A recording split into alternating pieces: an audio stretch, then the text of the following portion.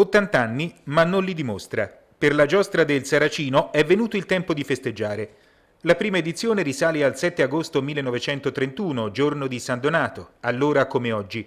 Le immagini che osserviamo si riferiscono proprio a quella giornata. Fanti, vessilliferi e tamburini erano presenti in piazza, insieme con loro molte camicie nere, a testimoniare il periodo storico nel quale la giostra si corse. La giostra fu voluta dal podestà Pier Ludovico Occhini, il quale alcuni anni prima aveva espresso il desiderio di dare vita a un evento che si rifacesse al valore dell'aretinità. La prima edizione ebbe un ottimo successo.